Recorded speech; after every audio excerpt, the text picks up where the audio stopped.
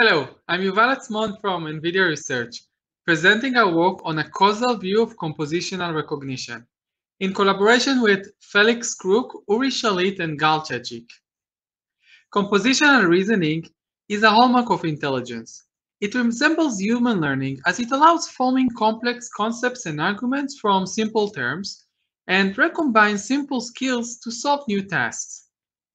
This work is about recognizing new compositions of familiar components, images like a monkey riding a boar, a purple cauliflower, or a black tomato. In all these cases, familiar components are combined in new ways. Recognizing new combinations is an easy task for people, but it is frustratingly hard for machine learning models.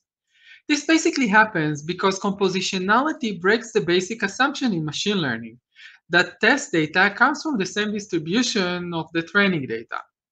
For example, if training did not include any black tomato, but did include black eggplants, models tend to learn that black is predictive for an eggplant and make an incorrect prediction predicting the tomato as an eggplant.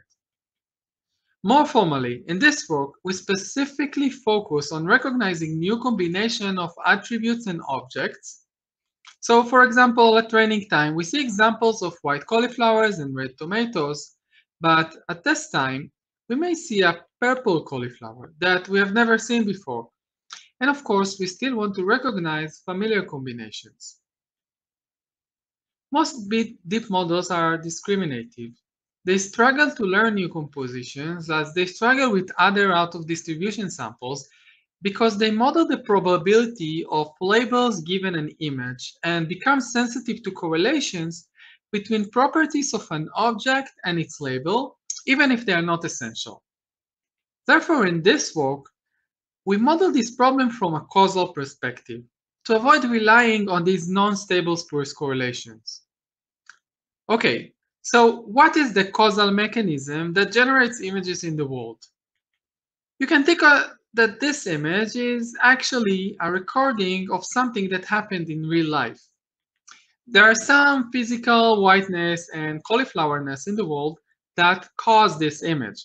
So we can also look at the distribution of the image X conditioned on these factors. And this direction of the arrows capture the underlying physical mechanism, which is much more stable from training to test time because it captures some real dependency in the world rather than depending on the statistics of the dataset. And the causal graph that generates images looks exactly like that.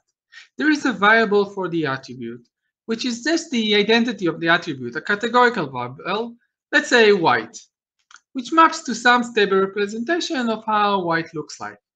Similarly, there is an object variable, let's say cauliflower, and it maps to some stable representation of how a cauliflower looks like.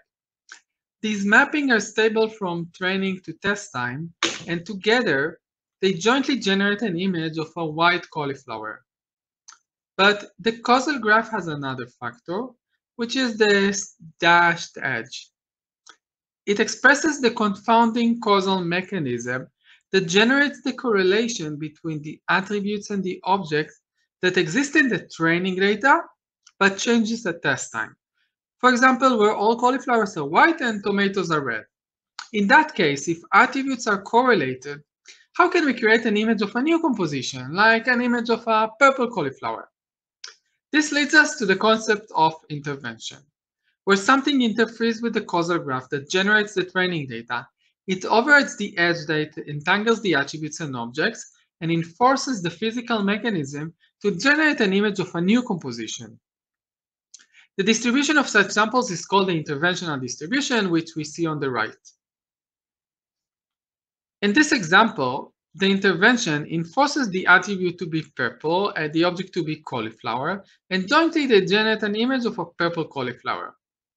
Now, because we treat images from new combinations as interventions, we postulate that the question we should ask at inference time is which intervention on attributes and objects cause the observed image.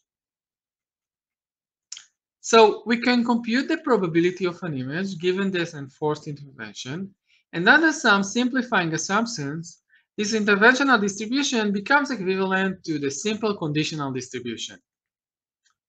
So how do we do inference in this model?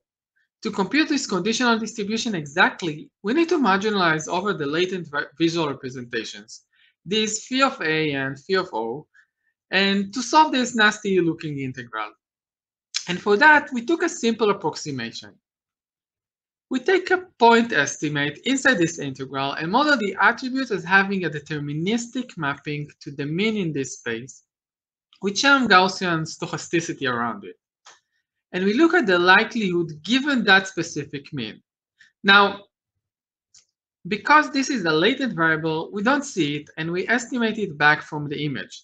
So under this assumption of Gaussianness, the log likelihood becomes very nicely behaving and results with three embedding-like terms. How good is the representation of the attribute? How good is the representation of the object and of the image? And finally, we select the attribute and object that maximize this likelihood. Our loss has three components. One is how well the model matches the data. Second is how well it preserves the conditional independence relations that the causal graph dictates. And third is just technical, making sure to avoid null solutions. The first term, the data loss, is the negative log likelihood that was shown in the previous slide. The second term encourages the learned latent representation of the attribute and object to obey the conditional independence relations that are dictated by the structured causal model. We have four such independence relations. And for that, we use the Hilbert-Schmidt independence criterion, which is a differentiable measure of dependence between vectors, and minimize it as a conditional independence loss term. We also show that this loss term encourages learning a representation of object that is robust to attributes interventions and vice versa. We experimented with two datasets, one synthetic and well-controlled, and the other is more natural. The first one is a new dataset that we generated based on CLEVR type of data, but it is simpler. There is only a single attribute, sorry, a single object in every image, and we had three type of objects and eight type of colors. We example, sorry, we examine the results in a diagram that shows the trade-off between the accuracy for image of seen pairs on the x-axis with the accuracy for the new unseen pairs on the y-axis we see that different approaches may select different operating points to trade off the unseen accuracy for the seen accuracy. Some models tend to favor accuracy of unseen pairs over accuracy of seen pairs, while other models tend to favor the seen pairs. Importantly, this comparison reveals that encouraging uh, the conditional independence relations largely improve the unseen accuracy without hurting much the seen accuracy. Specifically, we observe large improvements when comparing a baseline without conditional independence to our full causal approach. We also observe that when comparing VisProd, which is a simple discriminative model, to a similar variant that is regularized by the same conditional independence relations.